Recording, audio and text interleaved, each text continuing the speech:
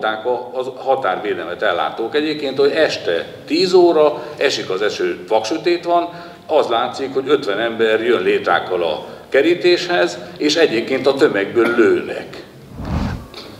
Novák Erőd úr jelentkezett előbb. Köszönöm a szót, elnök úr.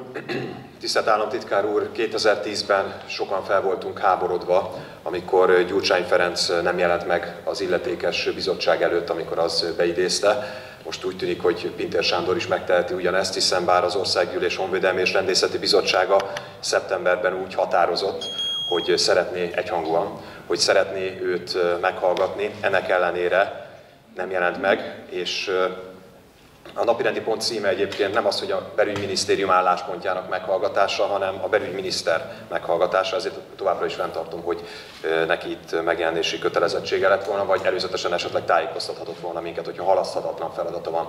Első kérdésem pont ez, hogy mi az a halaszthatatlan feladat, ami fontosabb, mint az országgyűlés illetékes bizottsága előtt beszámolni egy ilyen előre, több mint egy hónappal előre tervezett kérdésről. Ugye a Magyar Honvédség parancsnoka rendkívül megalázó helyzetbe került szerintem, amikor ugye utólag csak hírekből értesültünk róla, hogy titokban meg is látogatta az ukrán vezérkart, erről ugye csak utólag ukrán híradásból értesültünk, és az ottani fegyveres erők vezetője úgy nyilatkozott, hogy elégedett Ukrajna és Magyarország katonai együttműködésének a szintjével. Egy kicsit félek, hogy nem valami hasonló megalázó helyzetben van esetleg most belügyminiszter úr is, tehát őszinte választ kérek, hogy mi az, ami ennél jelenleg fontosabb, és amiben már őt nem lehet helyettesíteni máshol. Másrészt kérdéseket tettem föl írásba, hogy azt elnök úr kérte, igyekeztünk korrekten, jó hiszeműen előzetesen megfogalmazni, ennek ellenére államtitkár úr nem is érintette válaszában ezeket a kérdéseket, nem adott rá választ, tehát akkor megismétlem most szóban is. Miután sajnos a kormány támogatja ugye a legális bevándorlást, tehát a különböző kontinensekről hozzánk érkező vendégmunkások letelepítését, és az illegális migránsokkal szemben is csak fél megoldás van. Ugye a Torockai László által még ásott, hanem polgármestereként 2015 elején javasolt határkerítés megépült, de az áttörő migránsokat csak visszakísérgetik hetente több ezret, hogy újra próbálkozhassanak. Ezért kérdeztem, hogy miniszter úr támogatná-e a határt védő rendőrökre és honvédekre támadókkal szemben az elrettentő hatású tűzparancsot. Tehát, hogy nem csak önvédelmi célból, hanem a haza védelmébe érdekében is fegyverhasználati jogot adjunk, hogy kellően elrettentő erővel lépjünk fel az erőszakos hatásértőkkel szemben. Az első persze figyelmeztető lövés kellene, hogy legyen, de azt gondolom, hogy eljárt már az idő a betolakodók kikísérgetése vagy épp börtönben etetése felett. Talán ehhez kapcsolódik a határvadászok lövészeti kiképzése, illetve elége mondjuk egyhetes ezzel kapcsolatos kiképzés. Én magam szolgáltam határvédelemben olyan honvéddel, aki bár több éve igaz tartalékos, de több éve tartalékos honvéd volt, ennek ellenére úgy, úgy sétált az oldalán 60 darab lőszerrel, hogy egész életében a honvédség keretein belül elvégzett több éves szolgálata ellenére összesen 6 darabot, 6 darab lőszert lőhetett el több év alatt, és így annak a tízszeresét hordta az oldalán. Nyilvánvalóan ilyen esetben biztonságos fegyverhasználatról nem beszélhetünk, tehát tervezik-e akár a külföldi megszállások kárára a honvédség, illetve hát most amiben önök közvetlenül illetékesek, bár kormányként azt gondolom a honvédség tekintetésében is, tekintettel arról, hogy járő párként járnak el, és nem adott választ arra a kérdésemre sem, hogy meddig kell ez így működjön, és meddig kell a honvédek védjék a határt, a határvadászok, vagy hát jobb esetben egyébként egy határőrség helyett. Tehát legalább a, mondjuk a határvadászok tekintetében számíthatunk-e valami komolyabb lövészeti kiképzésre. És van egy, azt gondolom, egy szintén markáns javaslat, ami talán még közelebb állhat egy kormány elfogadásához. Azt kérdeztem, hogy miniszter úr támogatná-e több millió forintos helyszíni bírságot a kerítésen átjutókra. Én nagyon örülök, hogy kaptunk egy részletes elszámolást, és ebből látszik, hogy 650 milliárd forintot közelíti már a magyar állam kiadásai a déli határvédelme tekintetében. Viszont nagyon fontos volna, hogy ne az Európai Uniótól várják, mert az finoman szóval kutya vacsorája, hogy ezt ők meg fogják téríteni. Sokkal reálisabb lenne az, hogy véget vessünk ennek az elképesztő mértékű költekezésnek, vagy legalábbis csökkentsük azt, és ez például úgy lehetne, sokkal költséghatékonyabban, hogy több millió forintos helyszíni, helyszíni bírságot szabnánk ki a kerítésen átjutókra. Ugye a migránsok zsebében sokszor több ezer euró lapul, ami jellemzően az embercsempészeknél köt ki. Az elkobzásukkal viszont hamar elmehetne a migránsok kedve a Magyarországon való próbálkozástól legalábbis. Így tehát milliárdokat spórolhatnánk meg a határvédelem terén az elrettentő hatású szankciókkal. Ha a tűzparanstól esetleg idegenkednek, akkor kompromisszumként mindenképpen javaslom az egyébként is könnyebben kivitelezhető, egyszerű alapvetésként a bírságot. Eredményesebb is volna a kontinens hódítók visszaszorítása. Persze a liberális nemzetközi jogvédő szerintem inkább egyébként sok esetben bűnpártoló szervezetek várható, hogy majd sipítoznak, hogy majd Magyarország kirabolja a migránsokat, de én azt gondolom, hogy legalább majd messze elkerülnek minket. Tehát miért mi fizessük ki a jövőben is a sorozatosan rongált határkerítés javításait? Ezért azt gondolom, hogy helyszíni bírságra szükség van. Eljárt már az idő a kerítésen áttörők, átjutók visszakísérgetése, taxisztatása fölött. Tehát jogszabálymódosításokat javaslunk, illetve középtávon akár az Európai Unióból való kilépésünket is, hiszen nyugatról, az efféle migránsoktól a határkerítés nem véd meg. Sőt, egy kicsit fájó kimondani, mivel Torockai László javaslatáról van szó, illetve a Honvéd bajtársak ügyében is fájó kimondani, de jelenleg nem a határkerítés, nem a honvédek, rendőrök védenek meg minket az illegális migránsoktól, hanem az alacsony bérek. És ez nem hiszem, hogy hosszú távon egy jó recept, és ez tartható. A mi hazánk mozgalom legalábbis nem ezt képzeli el. Ezért egy valódi védelmet szeretnénk, nem a határon, határkerítésen is könnyedén naponta ezres létszámban átjutók taxisztatását szeretnénk. Egyébként nem tudjuk, hogy pontosan mennyien jutnak át, hiszen csak azt tudjuk, akiket a határkerítésen való átjutás után sikerül föltartóztatniuk. Az, hogy akik aztán sikerrel átjutnak az M plusz egyedik próbálkozások esetén, ezeknek a számát ugye önök sem tudják. Minden esetre mi ennek szeretnénk véget vetni. És Szeretnék arra is most már konkrétan választ kapni, hogy a honvédeket meddig kell még a határon felsorakoztatni, mikor tudnak például inkább hadgyakorlatokra menni, hiszen elő, előbb említettem egy példát, ugye, hogy valaki több éves szolgálat ellenére hat darab lőszert lőhetett el lőgyakorlatokon. Nem ez az általános nyilvánvalóan, ez most egy kirívó példaként mondtam, nekem személyesen például jobb tapasztalatom volt, de vannak ilyenek is. És végül érdekelne az is, hogy terveznek-e fizetésemelést az inflációt meghaladó mértékben. Tehát az hadd ne legyen már érdem, hogy a jelenlegi tarthatatlan állapotot esetleg az inflációval arányos mértékben fenntartják. Bruttó 260 ezer forintos fizetésért valójában egyébként fegyveres biztonsági őröket keresnek, különösebb szükséges jogok nélkül, ez szerintem nem csoda, hogy oda vezet, hogy a határvadászok leszerelése megkezdődött.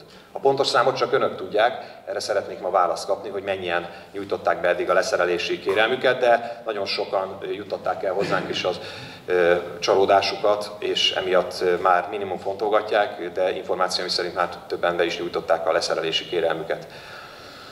Elfogadhatatlan az is, hogy a hatályos napi 4-12 órás szolgálatteljesítési időt napi 12-16 órásra bővítenék. Szerintem nem a béreket kellene emelni, vagy szerintem épp, hogy a béreket kellene emelni a határvadászok tekintetében, és nem a munkaidőt. Ráadásul az is nevetséges, hogy a határvadász a rendvédelmi egészségkárosítás, egészségkárosodási kereset kiegészítésre és rendvédelmi egészségkárosodási járadékra 9 éves szerződési munkaviszony után jogosult lesz csak a jelenleg előttünk fekvő törvényjavaslat szerint, miközben három év határozott idejű szerződést kötnek velük egy olyan munkavégzésre, ahol pedig hát különösképpen veszélynek vannak valójában kitéve. Egy kicsit fáj, hogy miközben én radikálisabb lépéseket szorgalmazok, az előttünk fekvő törvényjavaslatból az látszik, hogy hígulni látszik még az eddigi migrációs politika is, liberalizálódnak, hiszen például az utazási engedély kiadásának megtagadásáról, az utazási engedély megsemmisítéséről vagy visszavonulásáról szóló döntés közigazgatási perben megtámadható lesz az előttünk fekvő önök által benyújtott javaslat szerint. Sőt, az idegenredészeti hatóság a kiutasítást, valamint a beutazási és tartózkodási tilalmat visszavonhatja azon személyek esetében is, aki például jogellenesen lépte át Magyarország államhatárát, vagy azt megkísérelte, vagy éppen nemzetbiztonsági kockázattal jár. Nem lesz kötelező többé, ha ezt a javaslatot elfogadják, amit a kormány benyújtott. Harmadik országbeli állampolgár szándékosan elkövetett bűncselekmény miatt kiszabott szabadságvesztés büntetésből való szabadulását követően elrendelt kitoloncolás végrehajtás során hatósági kíséretre sem. Hát magyarul vagy elhagyja önként az országot, vagy nem. Először is a személyes jelenlét kapcsán, mert ezt Novák képviselő kétszer is szóba hozta, elnök úr nem részletesen kifejtette, hogy a, házszabály ezt hogyan szabályozza, teljesen szabályszerű, hogy most itt vagyunk. A miniszternek az éve, a ciklus elején, meg az éves személyes meghallgatásán kell itt lenni, amúgy pedig ugyanúgy, mint az interpelációk és más esetében is a, a házszabályban rögzített, meg az egyéb módon rögzített helyettesti útján lehet itt, úgyhogy teljes mértékben szabályos, hogy itt vagyunk, és szerintem jó, hogy ilyen körbe is tudunk beszélgetni erről, vagy beszélni erről a kérdésről, hogy önök tudnak minket kérdezni, mi pedig válaszolunk, úgyhogy kérem, ne lásson semmi rendkívülit, csak és kizárólag a, a ciklus elejé és az éves meghallgatás az, ami személyes, minden más helyettesítéssel megoldható. A tűzparancs és hasonlók kapcsán, Novák képviselő kérdése szintén, Ugye jelenleg itt a fegyverhasználatok a szabályt a rendőrségi törvény rögzíti, azt a fajta arányosságot, ami, ami ez ügyben megtehető. Nagyon fontos, hogy én is mondtam, mivel itt azért sokszor akár fegyvernek látszó tárgyakkal vagy fegyverekkel felszerelt embercsempészekről van szó, sokszor akár kézigránát is előkerül, nem csak mondjuk egy hosszabb pengéjű kés, vagy egy, vagy egy lőfegyver, vagy vadászfegyver tőlük. Ezért fontos, hogy a megfelelő jogi védelme meglegyen a magyar határt törvényesen védőknek, mert a törvény megszegülésről sem kerülhet előnybe a törvény betartójához képest.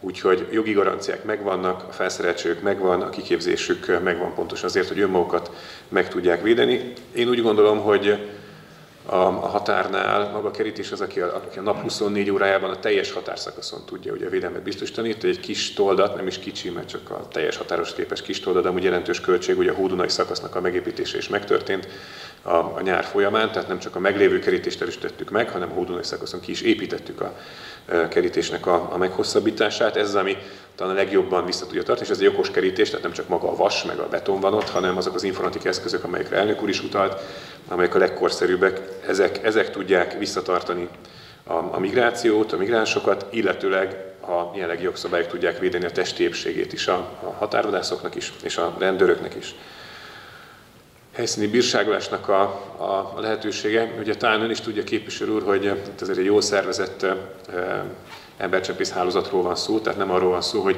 amikor elindul valaki Szíriából vagy Afganisztánból, akkor a teljes pénzt a zsebébe elteszi, és akkor ugye elindul és végigmegy. Nyilván ő is félne, hogy kirabolják útközben, vagy bármi történik vele, hanem a család szakaszról szakaszra utalja az embercsempésznek azt a pénzt, amivel ő tovább tud menni a következő szakaszra. Tehát nem ők fizetik ott ki, nincs náluk bankkártya, készpénzből is csak költőpénz mennyiség van, akinél van, hanem a család, és ez nagyon sok migráns is elmondta, a család otthonról küldi az újabb és újabb etapokra az újabb és újabb költséget az újabb és újabb embercsempész szervezőknek. Tehát itt nem az embercsempész maga fizeti, nem ő veszi meg a jegyét a következő szakaszra, hanem otthonról finanszírozzák ezt. Ezért fontos, hogy legyen náluk ugye mobiltelefon, ezért az első dolog a SIM kártya, meg a mobiltelefon beszerzése, hogy otthonra vissza tudjanak üzenni, hogy a következő szakaszra ki lehet fizetni a helyi bűnszervezet tagnak a, a, fizetséget. Tehát itt az embercsempészeknél van a pénz, és sokszor náluk is inkább lehet, hogy a számlán van, mert lehet, otthonra sem készpénzen fizetik, de ez, ez egy másik kérdés. Tehát nem, nem, nem úgy jönnek, hogy a, hogy a szerb szakasz, meg a magyar szakasz, meg az osztrák szakasz, meg a német szakasz költsége ott lenne a zsebében, és azt olyan könnyen ott le lehetne tőle foglalni. Tehát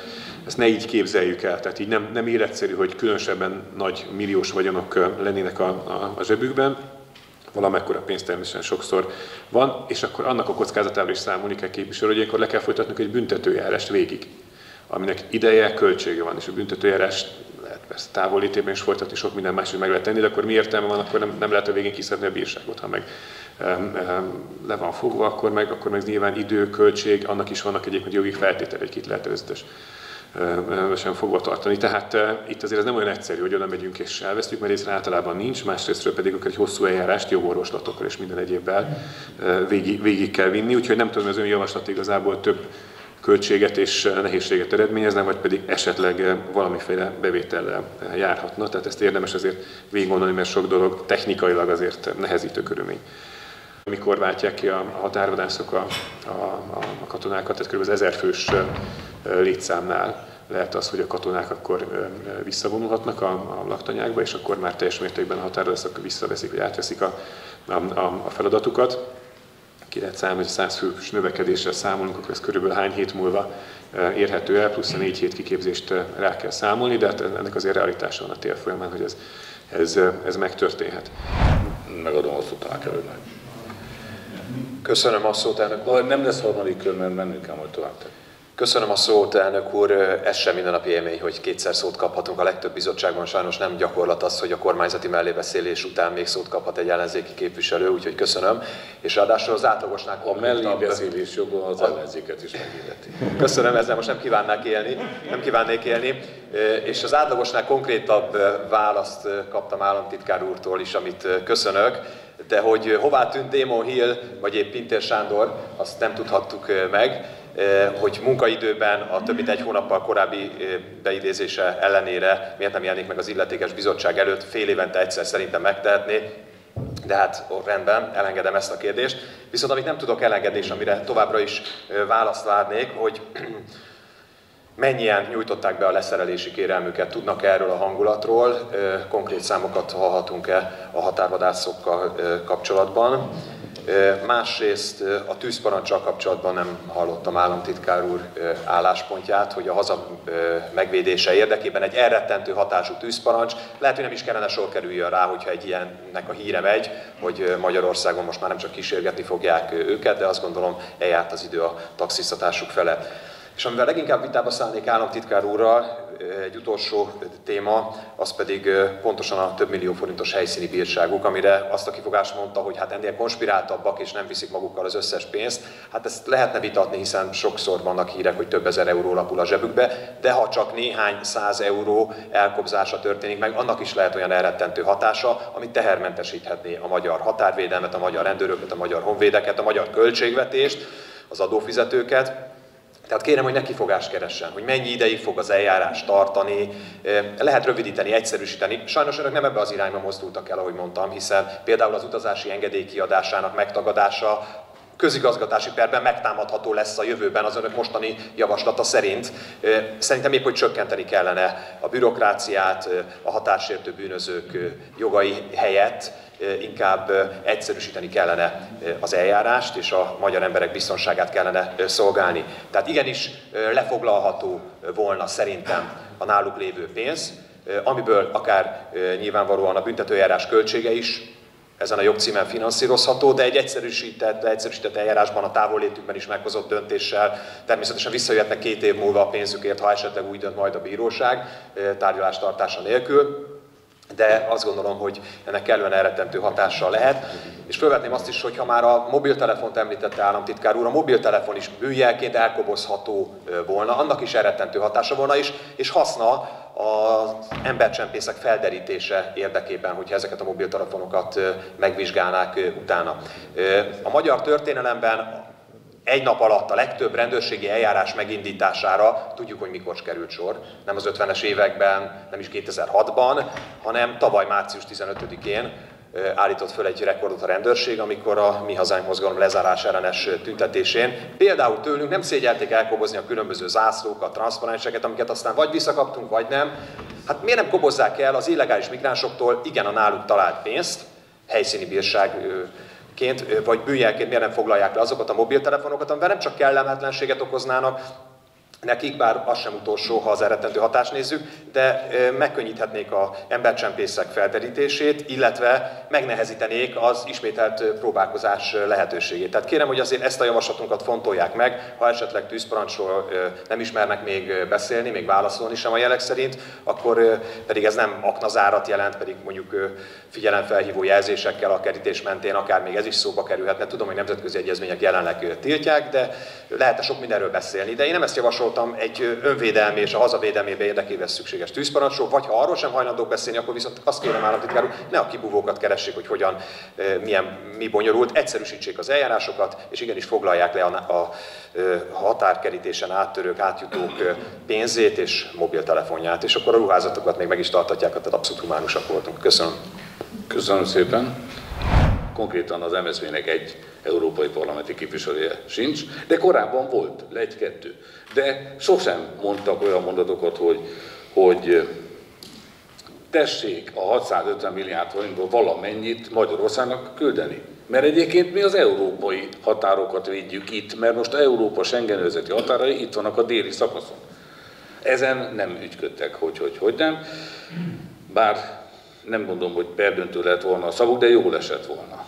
Az azóta egyébként az MSZP-ből, az LNP-ből, meg a Jobbikból, vagy nem tudom hol, ez megfordult Demeter Mátott az egyetlen, aki azt mondta, hogy emeljük meg, a, mármint az európai Unió felé, hogy emeljék meg a Frontex költségvetését. Ennek kisebb fajta hibája, hogyha megnézzük a Frontex tevékenységét, az inkább egy utazásszervező és felvilágosító szervezethez hasonlít, legalább görög, görögök egyébként a határügyzetik szervek ezt mondták, mint inkább határvédelmi szervekhez, és a Frontex kollégái még egy határ, illegális határ átlépőt sem állítottak meg. Tehát az nem, nem sokra mentünk volna vele de azóta is vállaljuk, és szerintem ez egy értelmes vita egyébként akár Novák előddel is, hogy szervezeti különállás formájában megvalósított határvédelem az mennyivel hatékonyabb, mint integráltan. Mi azt mondjuk, hogy integráltan erre vannak adataink, back office, vezénylés, egyeztetés, stb. stb. De majd kérdezzünk meg adott esetben, hogyha ez a téma felmerül, pesézzük ki, hívjuk meg azokat a szakembereket, akik ott vannak a belügyminisztériumban, el tudják mondani, hogy milyen, milyen előnyökkel jár ez. A másik javaslat, amit a Novák előtt javasolt, azt, azt, hogyha végig gondoljuk, akkor egész meghökkentő következményei lennének. De ha nem arra teszünk javaslatot, hogy mindenfajta adatfelvétel és hivatalos eljárás nélkül a magyar állam védelmét ellátó szervek rabolják ki a migránsokat ha, ha csak nem erre teszünk javaslatot, akkor teljesen nyilvánvaló, hogy ez egy jogállam. Tehát amikor az állam eljárást kezdeményez bármely magyar földön tartózkodó személlyel kapcsolatban, akár állampolgár, akár nem, mi, hogy kezdődik az eljárás? Adatfelvétel. Hát nem tudjuk, hogy kicsoda. Megkérdezzük, hogy hívják, azt ellenőrizni kell. Az adatfelvételt rögzíteni kell, annak vannak hivatalos formái, mert jogállamot, tehát nem a írásbeliség könyves kámán óta van a magyar állami Magyarul be kell engednünk az országba, és el kell kezdeni, el kell... Tessék? Bocsánat, bocsánat, akkor harmadik véle óta. Még, még régebb óta. Tehát az a helyzet, hogy, hogy akkor Novák erőd arra tesz javaslatot, hogy szemben a mostani gyakorlattal nem engedjük be, nem regisztráljuk, azt mondjuk, hogy illegális, tessék kívül menni a, oda, ahonnan tetszett jönni, és nincsen járás. Ön arra tesz javaslatot, hogy engedjük be, eljárás kezdeményezünk, akkor viszont muszáj itt tartani, ellenben nem, szokott, nem tudjuk el, tehát nem lehet őrizetben tartani, tehát az önjavaslata azt eredményez, hogy az összes embert, aki átjött határon, itt bent felveszünk az adatait, elkezdjük az ellenőrzést, aztán elengedjük őket. Ez egy rossz javaslat szerintem, a következményeit tekintve. Ugyanakkor, és itt e- ezredes úrnak szeretném a, különösen a figyelmét felhívni, arra, hogy az egy érvényes, tehát nem a tűzpanasz formájában, mert a tűzpanasz az lövetést jelent. Mi azért mégis csak legyünk már egy kicsit ilyen tekintélyesebb, vagy ilyen hozzáértőnek látszó szervezet. Ugye ez azt jelenti magyarul, hogy gondoljuk végig, a határvédelem kapcsán a fegyver használati szabályokat. Ez egy érvényes vita, mert egyébként mi is ott voltunk a határon, pont a német Szilárdal együtt, amikor mondták a, a határvédelmet ellátók egyébként, hogy este 10 óra, esik az eső, vaksütét van, az látszik, hogy 50 ember jön létrákkal a kerítéshez, és egyébként a tömegből lőnek. Oké, okay, hogy egyébként a levegőbe lőttek vélhetőleg meg, hogy riasztófegyverrel, de egyébként egy esős novemberi ködös időben 50 ember jön a határhoz, és onnan lőnek, és még azt is kiabálták egyébként, hogy legközelebb te, te leszel a célpont, akkor a mostani fegyverhasználati szabályokat végig kell gondolni, mert most ugye az, az arányosság, a célirányosság, az indokoltság, stb. az mind, mind szempont, és itt, itt inkább akkor azt a kérdést kell megfeltenni, hogy a mostani szabályok egyébként elegendőek-e. Már léptünk át, nagy korábban átléphetetlennek vélt határokat, teljesen jogosan, például a saját lakásvédelme kapcsán.